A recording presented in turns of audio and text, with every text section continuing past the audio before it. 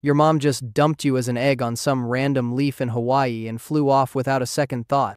Now you're hatching into darkness, emerging as something that looks like a tiny green twig with an identity crisis. Welcome to life as a carnivorous caterpillar, where you're basically the vampire of the caterpillar world, except nobody finds you sexy or mysterious, just weird and kinda terrifying. Right off the bat, you realize something's wrong. While your distant cousins are munching on leaves like proper caterpillars, you're sitting here with zero interest in salad. Your body's built different too. Instead of those cute little legs other caterpillars use to inch along branches, you've got these modified prolegs that work more like grappling hook. And those things on your back? Sensory bristles that can detect the slightest vibration. You're basically a living motion sensor with trust issues. Your first meal needs to happen fast, because unlike those leaf eating wimps, you can't just nibble on your birthplace when you get hungry. You position yourself along a branch, stretching out to look exactly like a harmless twig. This isn't some casual yoga pose either. You're locked in place, muscles tensed, waiting. Hours pass.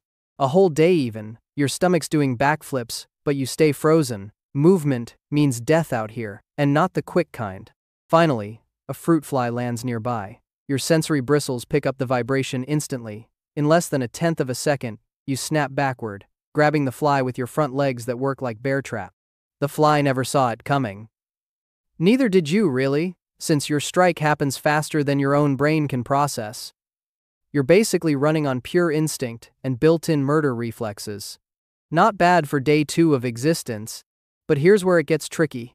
You can't just camp in one spot forever. After a few successful catches, the local insects start avoiding your branch altogether. Even bugs aren't that stupid. So, you need to relocate, except moving means exposing yourself to birds, spiders, and parasitic wasps who'd love nothing more than to turn you into their personal incubator. Every journey between hunting spots is basically running across a highway blindfolded during rush hour. You find a new spot near some rotting fruit. Smart move.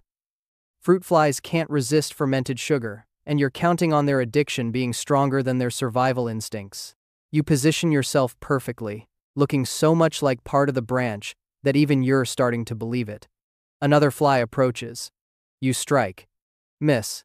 The fly escapes and probably goes to warn all its friends about the killer stick. Great. Now you've blown your cover and wasted energy you can't afford to lose. Three days pass without food. Regular caterpillars can handle starvation way better since plants don't run away. But you? You're burning through your reserves, just maintaining your ambush position. Your body's starting to eat itself from the inside. This is the part where most of your siblings have already checked out. The failure rate for carnivorous caterpillars makes tech startups look like safe investment. Desperation kicks in, you try a different strategy, positioning yourself near a spider's web. Not in it, obviously, because you're not completely insane, just close enough to catch the insects that bounce off the outer threads. It's risky, playing this close to another predator's territory, but desperate times and all that. A small moth hits the web's edge and tumbles free. You snatch it mid fall. The spider notices and starts moving toward you. Time to leave. Now. You're growing, though, slowly but surely. Each successful hunt makes you a bit larger, a bit stronger, and ironically, a bit easier to spot. The bigger you get, the harder it becomes to pass as just another twig. You're starting to look more like a small branch, which means you need bigger hiding spots and bigger prey. A beetle larva crawls by. It's almost your size, but your stomach doesn't care about weight classes right now.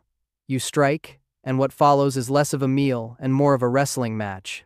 You win, barely, but the victory tastes incredible. Two weeks in, and you've developed a rhythm.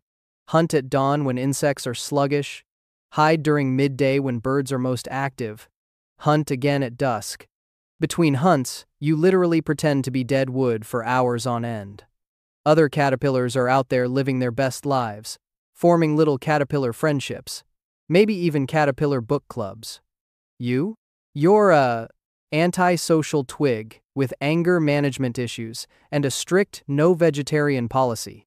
The rainy season hits, which should be good news. More moisture means more insects.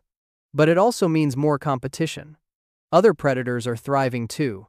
A praying mantis sets up shop on your tree. That's like having a serial killer move in next door. You watch it demolish a butterfly with clinical efficiency. Note to self find a new tree, immediately. Your new territory is less ideal. Fewer insects, but also fewer things trying to kill you. You'll take it. You've learned to be less picky about your meals, too.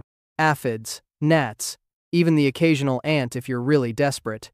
Each one barely counts as a snack, but they add up.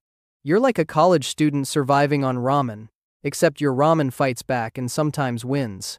Then something weird starts happening. Your body feels different, tighter.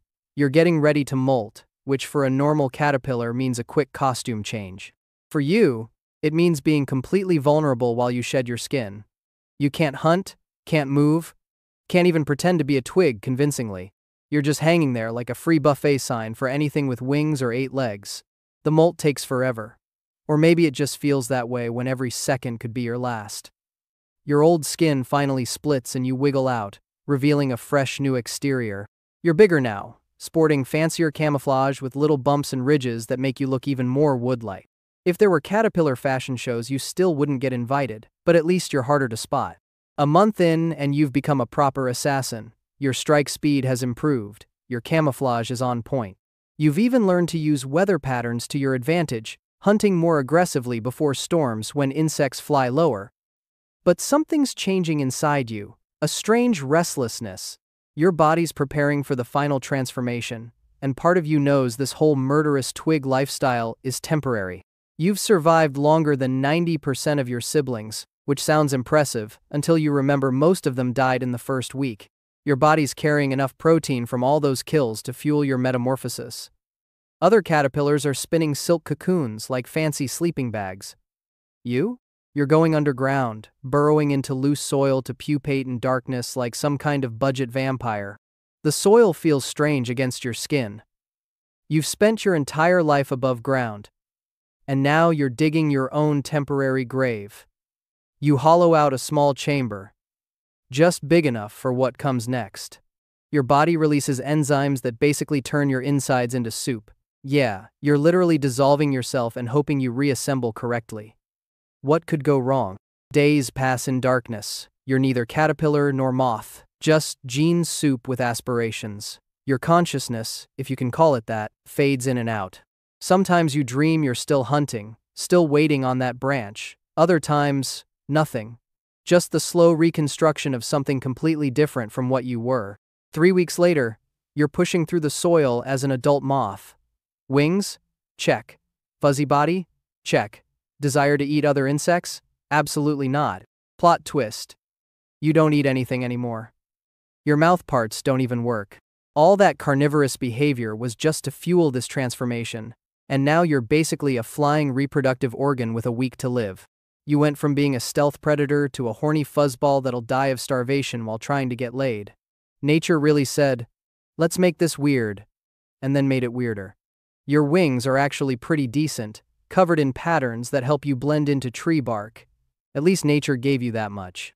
But what good is camouflage when you're frantically flying around releasing pheromones like a perfume bomber? Every bird in the area knows exactly where you are. You're broadcasting your location to both potential mates and predators simultaneously. It's like posting your exact GPS coordinates on social media while being chased by the cops. You spend your last few nights frantically searching for a mate, knowing that your kids will inherit the same ridiculous life cycle. They'll hatch as tiny killers, pretend to be twigs, eat their body weight in insects, bury themselves alive, and emerge as sex obsessed moths with no mouths. And somewhere out there, a fruit fly is probably laughing its tiny butt off at the cosmic joke of your entire existence.